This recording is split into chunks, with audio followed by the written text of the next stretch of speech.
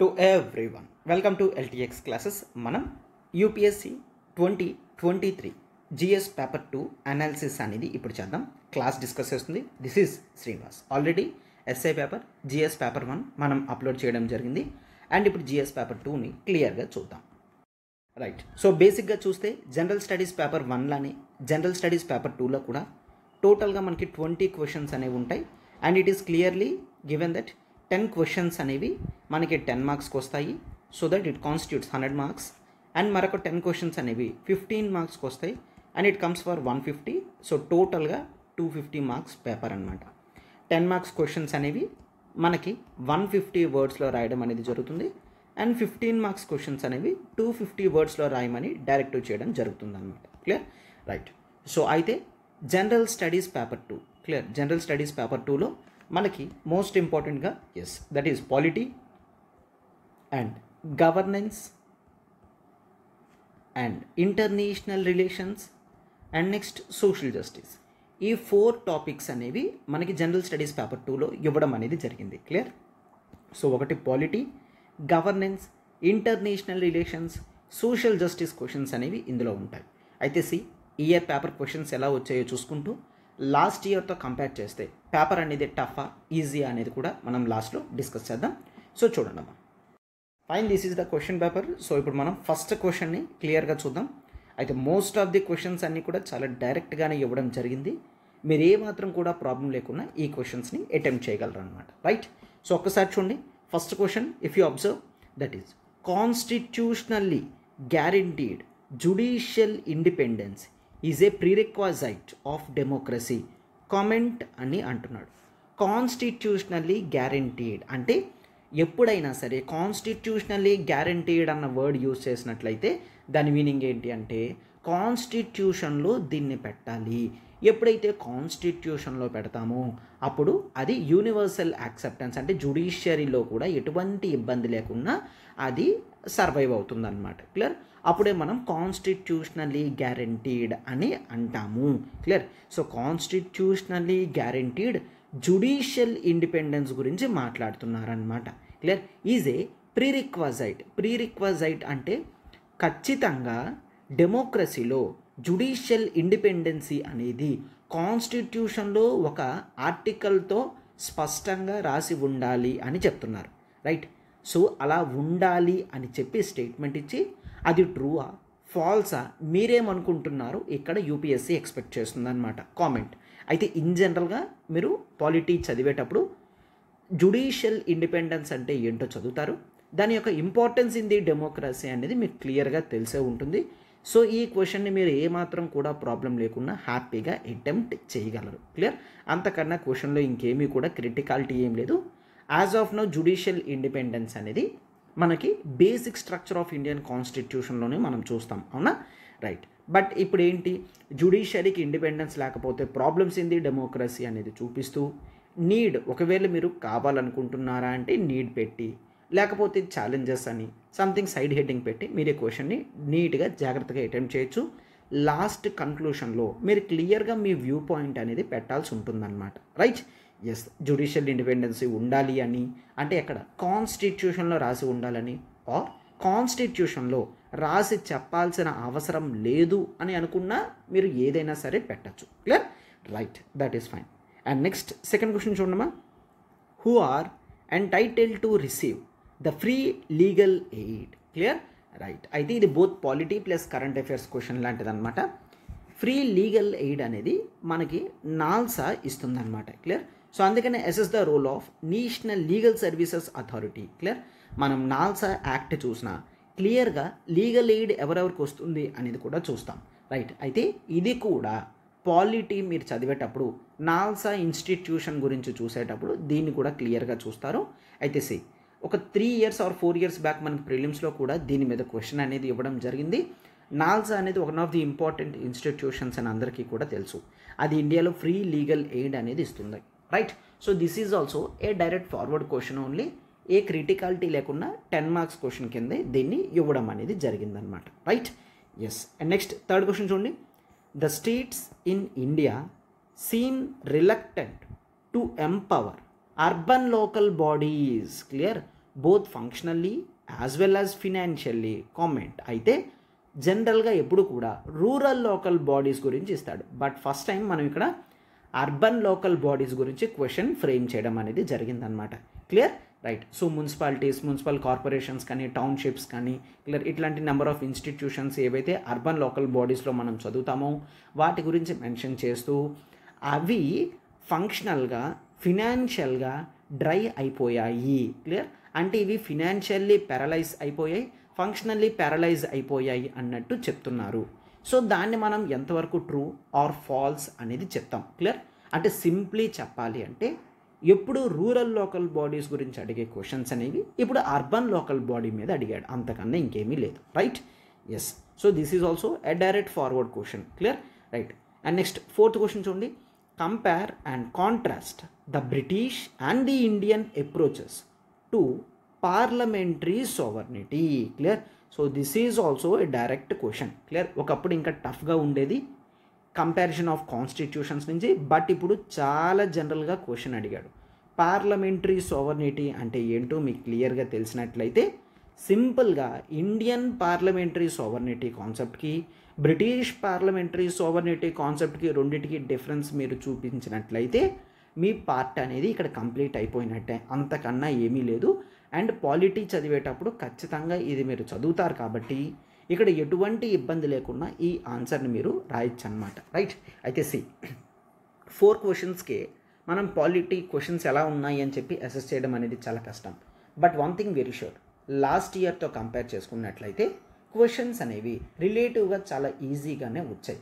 Questions అనేవి డైరెక్ట్గా forward కానీ మనకి ఎటువంటి క్రిటికాలిటీ లేకుండా అండ్ దేని గురించి రాయాలి అన్న ఆలోచన కూడా లేకుండా ఈజీగానే క్వశ్చన్ పేపర్ అనేది ఫ్రేమ్ చేయడం అనేది జరిగింది. సో ఒకటి మీరు చూసుకోవాల్సింది ఏంటి అంటే స్టాటిక్ టాపిక్స్ని కూడా మీరు చాలా స్పష్టంగా చదివినప్పుడు మాత్రమే ఈ క్వశ్చన్స్ని అటెంప్ట్ చేయగలరన్నమాట. క్లియర్? రైట్. సో చాలామంది ఎగ్జామ్ ముందు స్టాటిక్ క్వశ్చన్స్ని స్టాటిక్ టాపిక్స్ని రివైజ్ చేయకుండా వెళ్తారు. So that is a blunder. Clear? Right. చాలా స్పష్టంగా కరెంట్ అఫైర్స్ టాపిక్స్తో పాటు స్టాటిక్ టాపిక్స్ కూడా చూడడం అనేది చాలా important right yes and next question చూడండి. Fifth question discuss the role of presiding officers of state legislatures అంటే స్పీకర్ అని ఇవ్వకుండా ప్రిసైడింగ్ ఆఫీసర్స్ ఆఫ్ స్టేట్ లెవెల్లో స్టేట్ లెజిస్లేచర్స్ గురించి అడిగానమాట in maintaining order and impartiality in conducting legislative work clear in facilitating the best democratic practices presiding officers state legislative అసెంబ్లీస్లో or state legislative councils ఉంటే కౌన్సిల్స్లో వాళ్ళు ఎటువంటి role play చేయాలి? ఎటువంటి role ఇప్పుడు play చేస్తున్నారు? ఒకవేళ ఒక పార్షియాలిటీ రోల్ ప్లే చేసినట్లయితే ఏ విధమైన ప్రాబ్లమ్స్ వస్తున్నాయి? సో ఆ వ్యక్తులను ఇంపార్షియల్గా మార్చడానికి ఏం రాయాలి అనేది. క్లియర్ సో ఇన్ జనరల్గా మనం స్పీకర్ గురించి చాలా వరకు చదువుతాము. అండ్ మీరు ఒకవేళ చూసుకున్నట్లయితే లాస్ట్ వన్ ఇయర్లో నెంబర్ ఆఫ్ ఆర్టికల్స్ అనేవి speakers impartial and neutral position గురించి ఆర్టికల్స్ రావడం జరిగింది. అండ్ స్టేట్ లెవెల్లో కొంతమంది స్పీకర్స్ చేసిన ఇష్యూస్ వలన వాటి మీద కూడా మనకి కొన్ని ఆర్టికల్స్ అనేవి ఎపియర్ అయ్యాయి.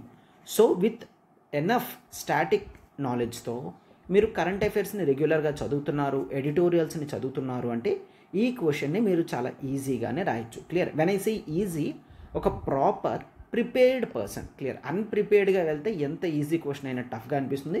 ఒక ప్రాపర్ ప్రిపేర్డ్ పర్సన్కి ఇవన్నీ కూడా ఈజీ క్వశ్చన్స్ అనే మనం అంటాము. Clear right and see next question sixth question చూడమ్మా the crucial aspect of development process has been inadequate attention paid to human resource development in India suggest measures that can address this inadequacy clear right అయితే ఈ question అనేది క్లియర్గా ఏమని చెప్తుంది? Human resource development అనేది అంత బాగా పెరగట్లేదన్నమాట. క్లియర్? రైట్. అంటే ప్రజలకి ప్రాపర్ ఎడ్యుకేషన్ సిస్టమ్ లేదు స్కిల్లింగ్ సిస్టమ్ లేదు అండ్ ఆపర్చునిటీస్ అనేవి లేవు పొటెన్షియల్గా గ్రో అయ్యేటంత స్కోప్ కూడా లేదు అని చెప్తున్నారు. సో హ్యూమన్ రిసోర్స్ డెవలప్మెంట్ అంటే మనం వాటన్నిటిని కూడా కన్సిడర్ చేసుకుంటూ ప్రాపర్గా మొత్తం అంతా రాస్తాం. క్లియర్గా వాడే అడుగుతున్నాడు measures.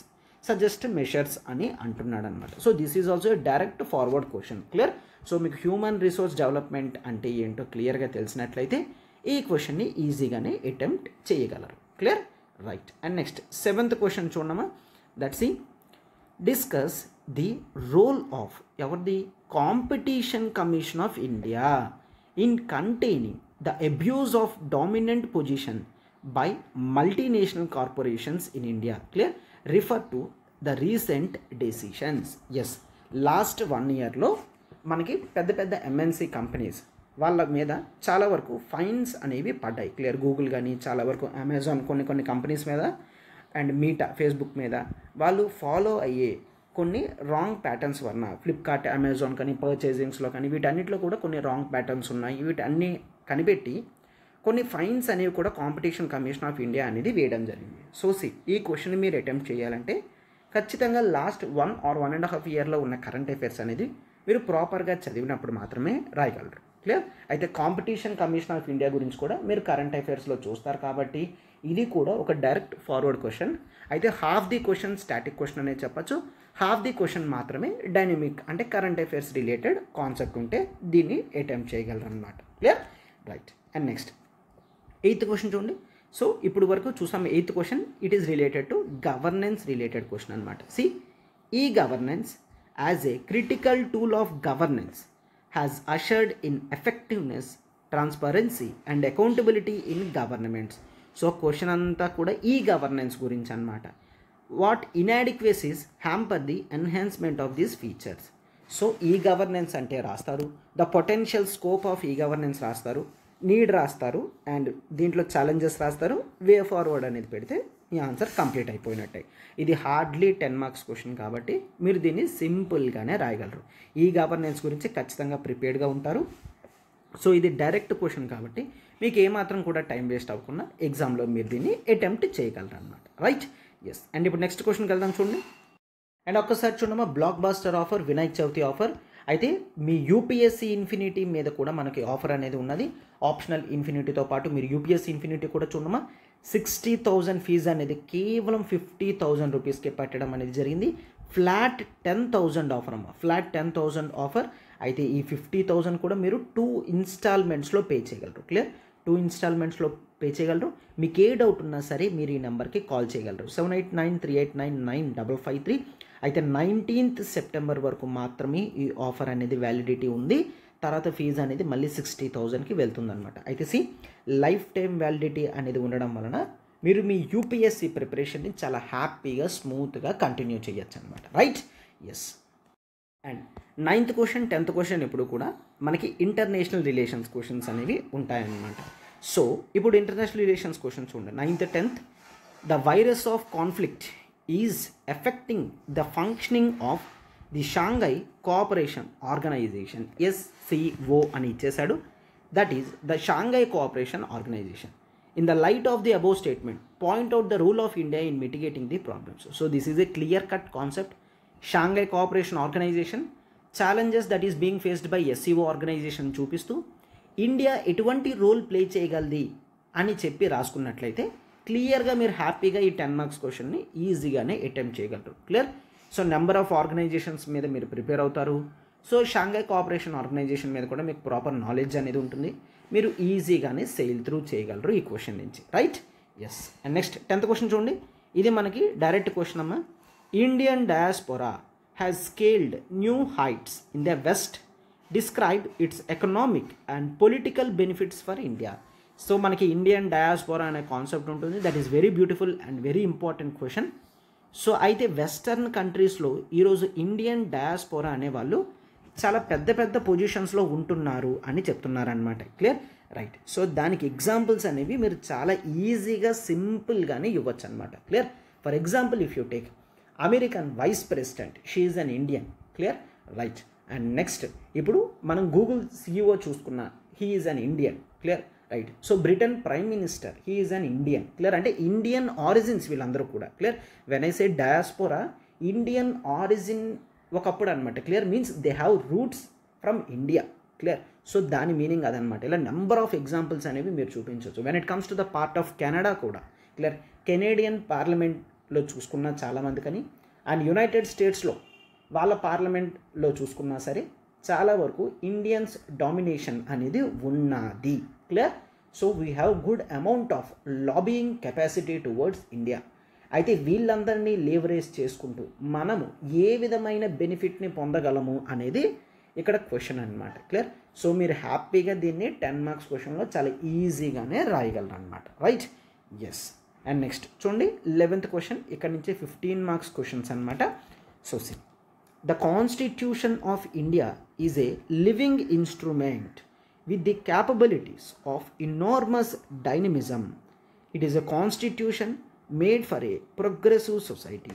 Illustrate with special reference to the expanding horizons of right to life and personal liberty. This is very fine question. Even నా పాలిటీ క్లాస్లో కూడా నెంబర్ ఆఫ్ టైమ్స్ ఈ టర్మ్స్ చెప్పడం జరిగింది అండ్ రైట్ టు లైఫ్ మీద article twenty one మీద ఇంచుమించు మనం ఒక ట్వంటీ ఫైవ్ కేస్ లాస్ కూడా క్లాస్లో డిస్కస్ చేయడం అనేది జరిగింది. క్లియర్? సో వాటితో ఈ క్వశ్చన్ని మీరు బ్యూటిఫుల్ బంపర్గా చేయగలరు. అండ్ ఐ ఎష్యూర్ ఒకవేళ మీరు మన క్లాసెస్ విన్నట్లయితే ఈ ఫిఫ్టీన్ మార్క్స్ క్వశ్చన్స్కి ఈ ఫిఫ్టీన్ మార్క్ క్వశ్చన్కి ఈజీగా ఎయిట్ టు నైన్ మార్క్స్ అనేవి గెయిన్ చేసే స్కోప్ అనేది హండ్రెడ్ పర్సెంటేజ్ ఉంది. క్లియర్? రైట్. సో ఈ క్వశ్చన్ చాలా very easy dynamic question if you attend our classes clear అంటే ఆర్టికల్ ట్వంటీ వన్ కేవలం మీరు ఒక పాలిటీ బుక్లో మాత్రమే చదివితే అది సరిపోదు అసలు. It requires lot of amount of knowledge clear so అదంతా కూడా మనం క్లాస్లో డిస్కస్ చేయడం అనేది జరిగిందనమాట రైట్ బట్ ఎనీవే ఫైన్ ఈ క్వశ్చన్ కూడా ఈజీ క్వశ్చన్ అనే చెప్పాలి.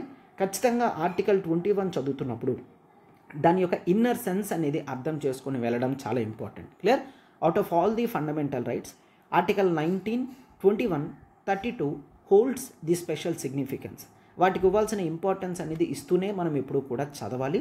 సో ఆన్ దట్ నోట్ ఈ క్వశ్చన్ అనేది ఈజీ కేటగిరీలోనే మనం పెట్టచ్చు. క్లియర్ రైట్ అండ్ స్కోరింగ్ కూడా. అండ్ నెక్స్ట్ క్వశ్చన్ చూడండి. Explain the constitutional perspectives of gender justice gender justice గురించి క్వశ్చన్ అడుగుతున్నాడు.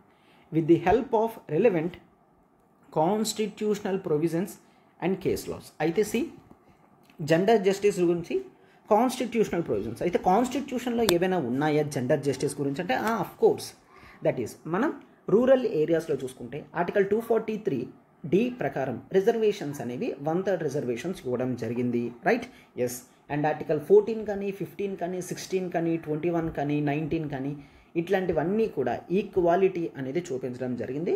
సో కాన్స్టిట్యూషన్లో ఈ ప్రొవిజన్స్ ఎగ్జాంపుల్స్ మీరు పెడితే సరిపోతుంది. And coming to the part of case laws మనం క్లాస్లో క్లియర్గా డిస్కస్ చేసుకున్నాం. ది సైరాబానో కేస్ కానీ ది శబరిమల కేస్ కానీ the adultery Joseph Shine versus Union of India case కానీ ఇట్లా నెంబర్ ఆఫ్ కేసెస్ అనేవి ఫిమనైన్ గురించి ఫీమేల్ అప్లిఫ్ట్మెంట్ గురించి చాలా కేసెస్ అనేవి బ్యూటిఫుల్గా డిస్కస్ చేసుకోవడం అనేది జరిగింది. క్లియర్ వాటిని మీరు ఎగ్జాంపుల్స్ పెట్టి ఇక్కడ ఈ క్వశ్చన్ని హ్యాపీగా రాయగలరు. ఏ విధంగా లెవెన్త్ క్వశ్చన్లో eight to nine marks gain చేయగలరు? ఈవెన్ ట్వెల్త్ క్వశ్చన్లో కూడా ఎయిట్ టు నైన్ మార్క్స్ అనేది మీరు హ్యాపీగా గెయిన్ చేయగలరు అనమాట clear? Right. And next question చూడండి. Account for the legal and political factors responsible for the reduced frequency of using article three fifty six by union government since mid nineteen nineties right. So this is a direct question article three fifty six. Articles very important articles అనేవి ఖచ్చితంగా గుర్తుంచుకోవాల్సిన అవసరం అనేది ఉంటుంది. Article three fifty six comes under the president's rule. అయితే nineteen nineties తర్వాత presidents rule యొక్క usage అనేది తగ్గిపోయింది. క్లియర్ సో వాటి యొక్క లీగల్ ఫ్యాక్టర్స్ ఏంటి? పొలిటికల్ ఫ్యాక్టర్స్ ఏంటి? ఇదంతా కూడా చెప్తున్నారు. అయితే ఇది మీరు కాస్త ప్రిపరేషన్తో ఈ క్వశ్చన్ కూడా అటెంప్ట్ చేయొచ్చు. అండ్ దీన్ని కాస్త ఈజీ నుంచి మోడరేట్ టు డిఫికల్ట్ లెవెల్లో పెట్టాల్సిన అవసరం అనేది ఉంటుంది అనమాట క్లియర్ సో త్రీ ఫిఫ్టీ సిక్స్ని కూడా వైడ్ ఆస్పెక్ట్స్లో చూసి ఎందుకు పెడుతున్నారు? ఇప్పుడు ఎందుకు పెట్టట్లేదు అన్న నాలెడ్జ్ డెవలప్ అవడం అనేది చాలా ఇంపార్టెంట్ ఈ క్వశ్చన్ని అటెంప్ట్ చేయడానికి. Clear right and next question చూడండి. Fourteenth question discuss the contribution of civil society social జస్టిస్లో క్లియర్గా సివిల్ సొసైటీ గురించి టాపిక్ ఉంటుంది. మనం చాలా క్లియర్గా చదువుతాము. And this is a direct question కూడా. Clear discuss the contribution of civil society groups for women's effective and meaningful participation and representation in state legislature women's యొక్క state legislature representation పెంచడానికి civil society organisations ఏమైనా ఉన్నాయా? ఉంటే వాళ్ళ contribution ఎంతవరకు ఉండడం వలన ఈరోజు ఫీమేల్ పార్టిసిపేషన్ అనేది స్టేట్ లెజిస్లేచర్స్లో ఎంతవరకు ఉన్నదో మనం చూడాలన్నమాట. Right yes and next fifteenth question చూడండి. Explain the significance of one not first constitutional amendment act this is very fine so this is all related to the GST GST గురించి అడుగుతున్నారు. To what extent does it reflect the accommodative spirit of federalism federalism ప్రిన్సిపల్స్ని ఇది ఎంతవరకు uphold చేస్తుంది అని చెప్పి అడుగుతున్నారనమాట అయితే GST గురించి పాలిటీలో చదువుతారు ఎకానమీలో చదువుతారు. ఓవరాల్గా జిఎస్టీ మీద పూర్తి అవగాహన అనేది మీకు ఉంటుంది. సో ఈ క్వశ్చన్ని కూడా మీరు చాలా ఈజీగానే రాయగలరు. This is also direct to question only. Clear చాలా డైరెక్ట్గా క్వశ్చన్ అనేది ఇవ్వడం జరిగింది. ఏ మాత్రం కూడా ప్రాబ్లం లేకుండా మీరు ఈ క్వశ్చన్స్ని అటెంప్ట్ చేయగలరు. క్లియర్? దీంతో ఫిఫ్టీన్ క్వశ్చన్స్ కంప్లీట్ చేసాం. సో రిమైనింగ్ క్వశ్చన్స్ని చూద్దాం చూడండి అమ్మా this is the sixteenth question explain the structure of parliamentary committee system so this is also a direct question right so parliamentary committee system గురించి అడుగుతున్నారు. And how far the financial committees helped in institutionalisation of Indian parliament. Clear? ఏ విధంగా financial committees అనేవి? Indian parliamentary సిస్టంలో ఈ committee సిస్టమ్ని ఒక institutionalised ఒక confirm వే path కింద పెట్టడం జరిగింది అనేది క్వశ్చన్ అడుగుతున్నారనమాట అయితే పార్లమెంటరీ కమిటీ సిస్టమ్స్ ఇదంతా కూడా పాలిటీ పార్లమెంట్ టాపిక్ చదువుతున్నప్పుడు క్లియర్గా చదువుతారు. దీని మీద ఎటువంటి డౌట్ కూడా మీకు జనరల్గా ఉండకూడదు. ఒకవేళ స్టాటిక్ క్వశ్చన్స్లో మీకు డౌట్ ఉన్నది అంటే మీ ప్రిపరేషన్ అనేది సరిగ్గా లేదు అని అర్థం. రైట్ ఈ టాపిక్స్ ఎవరైతే కంప్లీట్ చేశారో ఎవరైతే ఈ ఎగ్జామ్లో ఎగ్జామ్ హాల్లో కూర్చుంటున్నారో వాళ్ళకైతే ఎటువంటి డౌట్స్ కూడా ఉండకూడదు. ఒకవేళ ఉన్నట్లయితే వాళ్ళు చదివే మెథడ్లో ఫ్లాస్ ఉన్నాయి అని అర్థం. Right yes so this is also a direct question వీటిని సి ఎప్పుడైతే డైరెక్ట్ క్వశ్చనో మనం దానికి ఎక్స్ప్లెనేషన్ ఇచ్చి అనలైజ్ చేసే అంత టైం కూడా అవసరం ఉండదు. సింపుల్గా ఏం రాయొచ్చు అనేది క్వశ్చన్ చూసిన వెంటనే చెప్పే విధంగానే ఉంటుంది. Right? Yes and seventeenth question చూడండి. Development and welfare schemes for the vulnerable by its nature are discriminatory in approach do you agree give reasons for your answer this is very fine అయితే ఈ total seventeen questions వరకు కూడా చూసుకుంటే ఈ seventeenth క్వశ్చనే కాస్త more డైనమిక్గా కాస్త ఛాలెంజింగ్గా ఉంటుందన్నమాట. రైట్? ఎస్ మిగిలినవన్నీ కూడా డైరెక్ట్ క్వశ్చనే చాలా ఈజీ లెవెల్లోనే చాలా వరకు ఇవ్వడం జరిగింది. వన్ ఆర్ టూ క్వశ్చన్స్ మాత్రమే మోడరేట్ లెవెల్లో ఉన్నాయి. అయితే see development and welfare schemes అనేవి వల్నరబుల్కి ఇవ్వడం జరుగుతుంది. క్లియర్? వాటిని మనం ఎఫర్మేటివ్ యాక్షన్స్ అని అంటాం. కోర్స్ అవి డిస్క్రిమినేటరీ లాగా ఉన్నప్పటికీ కూడా ఆర్టికల్ ఫోర్టీన్లో క్లియర్గా చదవడం అనేది జరుగుతుందన్నమాట. ఏంటి? ఎస్ రైట్ టు ఈక్వాలిటీలో ప్రకారం మనం ఏమని చూస్తాము? ఎస్ ఈక్వల్గా ఉండే వ్యక్తులని మనం ఈక్వల్గానే చూడాలి. ఎప్పుడైతే వాళ్ళు అన్ఈక్వల్గా ఉంటారో వాళ్ళని ఈక్వల్గా చూడాల్సిన అవసరం అనేది లేదు. అంటే ఏంటి? సి ఇద్దరు వ్యక్తులు ఉన్నారు. ఇద్దరు కూడా ఒక్కొక్కరు పదివేలు సంపాదిస్తున్నారు నెలకి. క్లియర్ సో అప్పుడు ఒకటికి బెనిఫిట్ ఇచ్చి మరొకరికి ఇవ్వకపోతే అది తప్పు. అలా కాకుండా ఒక వ్యక్తి పదివేలు సంపాదిస్తున్నాడు మరొక వ్యక్తి నెలకి లక్ష రూపాయలు సంపాదిస్తున్నాడు. అప్పుడు పదివేలు సంపాదిస్తున్న వ్యక్తి యొక్క లైఫ్ గడవడానికి గవర్నమెంట్ సబ్సిడీలో రైస్ ఇచ్చింది అనుకోండి. అది ఒక వెల్ఫేర్ స్కీమ్. క్లియర్? దాన్ని డిస్క్రిమినేటరీయే అంటారు. బట్ ఆ డిస్క్రిమినేషన్ అనేది పాజిటివ్ డిస్క్రిమినేషన్ అని అంటాం. లేకపోతే పదివేలు సంపాదించే వ్యక్తి యొక్క స్టాండర్డ్స్ అనేవి పెరగవు. ఆ వ్యక్తి యొక్క లైఫ్ అనేది ఎప్పటికీ కూడా అలాగా తక్కువగానే ఉంటుంది ఇబ్బందికరంగా ఉంటుందన్నమాట. రైట్? సో అందుకని ఇటువంటి వెల్ఫేర్ స్కీమ్స్ ఉన్న డెవలప్మెంట్ మెషర్స్ డిస్క్రిమినేటరీగా ఉన్నా వాటిని మనం పాజిటివ్ డిస్క్రిమినేషన్తో అండ్ ది ఎఫర్మేటివ్ యాక్షన్స్ మూడ్లోనే వెళ్ళాలి అని చెప్పి మన ఆన్సర్ అనేది ఉండాలన్నమాట. రైట్ ఎస్ అఫ్ కోర్స్ అవి స్టేట్స్ ఎక్స్చేకర్కి డబ్బులు ఖర్చు అవుతున్నప్పటికీ వాటి వల్ల ఎటువంటి డైరెక్ట్ బెనిఫిట్ లేనప్పటికీ కూడా గవర్నమెంట్ ఒక సోషలిజం ప్రిన్సిపల్స్ని తీసుకొని వెళ్తుంది కాబట్టి ప్రతి ఒక్కరి యొక్క హ్యాపీనెస్ అనేది గవర్నమెంట్కి ఇంపార్టెంట్ కాబట్టి ఆ విధమైన మెషర్స్ అనేవి చాలా ఇంపార్టెంట్ అని రాస్తామన్నమాట. Clear right so this is somewhat tricky కాస్త ఆలోచించి రాయాల్సిన క్వశ్చన్ అనమాట right yes and next eighteenth question చూడండి. Skill development have succeeded in increasing human resources supply to various sectors in the context of statement analysis sorry analyse the linkages between education skill and employment this is very fine question మీరు number of times వీటి మీద చదివే ఉంటారు. Articles కూడా రావడం అనేది జరిగింది. So skill development schemes ఉన్నాయి. దానివల్ల చాలా వరకు అప్ స్కిల్ అయ్యారు. అయితే ఇప్పుడు link between education skill and employment అనేది అడుగుతున్నారు. మీరు ఈ క్వశ్చన్ కూడా చాలా హ్యాపీగా ఈజీగానే రాయగచ్చు provided that you have sufficient information regarding skill development programmes ఇండియాలో ఏమయ్యాయి? అండ్ ఎడ్యుకేషన్కి స్కిల్కి ఎంప్లాయ్మెంట్కి ఏ లింక్స్ ఉన్నాయి? ఈ ప్రాపర్ స్టాటిస్టిక్స్ కూడా తెలియాల్సిన అవసరం అనేది ఉందన్నమాట. క్లియర్ రైట్ ఎందుకు అంటే the centre for monitoring of Indian economy ఏమని చెప్తుంది అంటే ఇండియాలో ఈరోజు గ్రాడ్యుయేట్స్ చూసుకుంటే forty five percentage of graduates మాత్రమే ఇండస్ట్రీ రెడీగా ఉంటున్నారనమాట అంటే చాలా వరకు more than fifty percentage industry రెడీగా లేరు. అంటే గ్రాడ్యుయేషన్ కంప్లీట్ అయిపోతుంది తప్ప వాళ్ళకి ప్రాపర్ స్కిల్స్ అనేవి ఎంప్లాయ్మెంట్లో లేవు. అయితే మిగిలిన ఫార్టీ ఫైవ్ పర్సెంటేజ్లో కూడా చూసుకున్నట్లయితే హార్డ్లీ టెన్ పర్సెంటేజ్కి మాత్రమే రిక్వైర్డ్ స్కిల్స్ అనేవి ఉన్నాయి. మిగిలిన వాళ్ళకి కూడా స్కిల్స్ పెంచితే కానీ సరిపోయినట్లుగా లేరనమాట అర్థమవుతుందా? ఇటువంటి డేటా అనేది మీరు ఎప్పుడైతే ప్రొజెక్ట్ చేసి రాస్తారో అప్పుడే మీ ఆన్సర్స్కి స్టాండర్డ్నెస్ అనేది పెరుగుతుంది.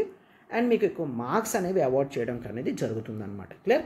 సో ఇవి వేగ్గా రాసి పడేస్తే సరిపోదు. కాస్త అథెంటికేటెడ్ డేటా అనేది ఎవరిస్తున్నారో ప్రజెంట్ చేసి అయితే నీతి ఆయోగ్ రిపోర్ట్ ఇస్తుంది.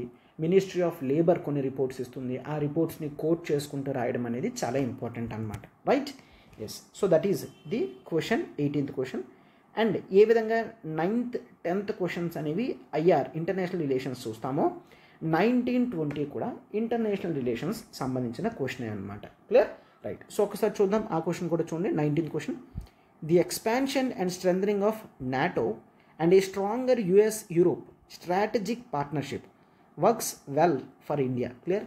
NATO Europe link అనేది ఇండియాకి చాలా బాగా హెల్ప్ చేస్తుంది అని అంటున్నారు. What is your opinion about this statement give reasons and examples to support your answer అయితే ఎప్పుడైతే నాటో ఆర్గనైజేషన్ గురించి లాస్ట్ ఇయర్ అంతా కూడా కరెంట్ అఫైర్స్లో వచ్చిందో అప్పుడు మనం కరెంట్ అఫైర్స్ న్యూస్ అనాలిసిస్లో కూడా క్లియర్గా చాలాసార్లు డిస్కస్ చేసుకోవడం అనేది జరిగింది. ఈ నాటో ఆర్గనైజేషన్స్ ఉండడం వల్ల ఇండియాకి ఏదైనా హెల్ప్ అవుతుందా అని క్లియర్? సో ఇక్కడ ఈ నాటో అండ్ యూరోప్ ఒక్కసారి రెండు కూడా కలుస్తున్నప్పుడు వాటి యొక్క స్ట్రాటజిక్ లింక్ పార్ట్నర్షిప్ అనేది పెరుగుతున్నప్పుడు ఇండియాకి కూడా ఇంపార్టెంట్ అని అంటున్నారు. ఎస్ అనే చెప్పాలి. ఇది చాలా వరకు బెనిఫిట్ అవుతుందనే చెప్పాలి. అది ఎలా రాస్తామనేది మీరు ప్రాపర్గా రాయాలన్నమాట. క్లియర్? రైట్. అయితే provided with you have sufficient information అంటే ప్రాపర్ ఎడిటోరియల్స్ కనుక మీరు అన్నీ చదివినట్లయితే ఈ క్వశ్చన్ని కూడా ఏ ప్రాబ్లం కూడా లేకుండా హ్యాపీగా అటెంప్ట్ చేయగలరు. Clear?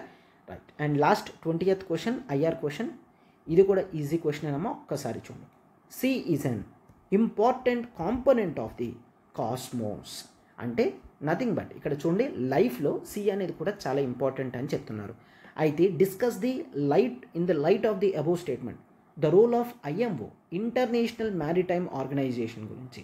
మనకి ఇంటర్నేషనల్ రిలేషన్స్లో ఆర్గనైజేషన్స్ మీద టాపిక్స్ అనేవి ఉంటుంది. సో దాంట్లో ప్రకారంగా ఐఎంఓ ఇంటర్నేషనల్ మ్యారిటైమ్ ఆర్గనైజేషన్ కూడా లాస్ట్ ఇయర్లో కరెంట్ అఫైర్స్లో రెగ్యులర్గా వస్తూనే ఉన్నది. Because of few the South China sea issues కానివ్వండి ఆర్ రెడ్ సీలో ఇష్యూస్ కానివ్వండి అండ్ రిమైనింగ్ కొన్ని చోట్ల ఎక్కడైతే ఈ ఆర్గనైజేషన్ యొక్క ఇంపార్టెన్స్ అనేది కంటిన్యూస్గా వస్తుందన్నమాట. సో దీన్ని మనం దీని యొక్క రోల్ అనేది మనం చూపించాలన్నమాట. ఎక్కడ? In protecting the environment and enhancing the maritime safety and security. Clear? So maritime safety and security అనేది చూపించుకుంటూ మనం ఆన్సర్ అనేది రాయాలన్నమాట. Clear? Right. So this is a direct forward question. Clear? Organisations గురించి చదువుతాము. సో సి యొక్క importance అనేది చూస్తాము. India ఎంతవరకు రోల్ ప్లే చేస్తుందో కూడా మనం ఎక్స్ట్రా రాయాల్సి ఉంటుందన్నమాట. క్లియర్? రైట్. అయితే సి. ఇఫ్ యూ అబ్జర్వ్ ఈ ట్వంటీ క్వశ్చన్స్ క్లియర్గా చూసినట్లయితే సి. ఇంటర్నేషనల్ రిలేషన్స్ నుంచి ఖచ్చితంగా ఫోర్ క్వశ్చన్స్ అనేవి వస్తాయి. పాలిటీ క్వశ్చన్ డామినేషన్ కూడా ఈసారి ఎక్కువ కనిపించింది. గవర్నెన్స్ క్వశ్చన్స్ అనేవి కొద్దిగా తగ్గాయి. అండ్ సోషల్ జస్టిస్ క్వశ్చన్స్ కూడా కొద్దిగా ప్రీవియస్ ఇయర్తో కంపేర్ చేస్తే తగ్గడం జరిగిందనమాట బట్ ఓవరాల్గా పేపర్ చూసుకున్నట్లయితే కేవలం త్రీ క్వశ్చన్స్ మాత్రమే మోడరేట్ లెవెల్లో ఉండి మిగిలిన సెవెంటీన్ క్వశ్చన్స్ కూడా ఈజీ లెవెల్గానే ఉన్నాయి. సో కంపారిటివ్గా చూసుకుంటే కాంప్రహెన్సివ్గా లాస్ట్ ఇయర్ పేపర్ కన్నా ఈ ఇయర్ పేపర్ అనేది కాస్త ఈజీ టు మోడరేట్ లెవెల్లోనే ఉన్నది. లాస్ట్ ఇయర్ అయితే క్వశ్చన్ పేపర్ అనేది మోడరేట్ టు టఫ్ లెవెల్లో ఉంటే ఈసారి ఈజీ టు మోడరేట్ లెవెల్లోనే క్వశ్చన్స్ అనేవి ఉన్నాయన్నమాట. క్లియర్ సో దీంతో what you have to learn అంటే డెఫినెట్లీగా ఖచ్చితంగా మీ ఎన్సీఆర్టీస్ మీద మీరు స్ట్రెంత్ అనేది పెంచుకోవాలి. For suppose if you are following Laxmikanth Laxmikanth కానీ డీడీ బస్సు కానీ ఒక స్టాండర్డ్ బుక్స్ అనేవి తీసుకొని చదవాలి. Provided with regular updating yourself with the articles that is provided in the Hindu or Indian Express ఏవైతే ఎడిటోరియల్ ఆర్టికల్స్ వస్తాయో వాటిని క్లియర్గా స్పష్టంగా వినడం. On that case you can follow out the Hindu analysis daily దాంట్లో మనం ఎడిటోరియల్ అనాలిసిస్ని చాలా డీటెయిల్డ్గానే discuss చేయడం అనేది జరుగుతుంది. వాటి వల్ల మీకు చాలా హెల్ప్ అవుతుంది అనమాట clear right so with that note I'm just ending this session hope you enjoy this clear like చేయండి మీ ఫ్రెండ్స్కి షేర్ చేయండి అండ్ డూ కామెంట్ ఆల్సో అది మాకు మరింత రిజ్యూనేషన్ అనేది ఇస్తుంది. థ్యాంక్ యూ ఒకసారి చూడమా blockbuster offer Vinayaka Chavithi offer అనేది తీసుకొని రావడం జరిగింది. అయితే యూపీఎస్సీ ఆప్షనల్స్ అనేవి ఎంత ఇంపార్టెంటో మీకు తెలుసు. అయితే మీరు కేవలం twenty five thousand rupees pay చేసి జాయిన్ అవ్వగలరు అనమాట ఫీజు అనేది thirty thousand but Vinayak Chavithi offer flat five thousand rupees offer అనేది ఇవ్వడం జరిగింది. అయితే ఈ ఆఫర్ అనేది కేవలం నైన్టీన్త్ సెప్టెంబర్ వరకు మాత్రమే వ్యాలిడిటీగా ఉంటుందన్నమాట.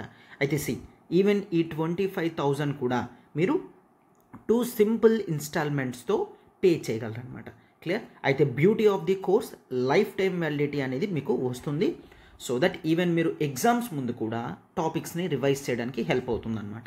అయితే మీకు ఏ డౌట్ ఉన్నా ఇక్కడ ఈ నెంబర్కి కాల్ చేయడమా seven eight nine three eight nine nine double five three నెంబర్కి మీరు కాల్ చేయగలరు.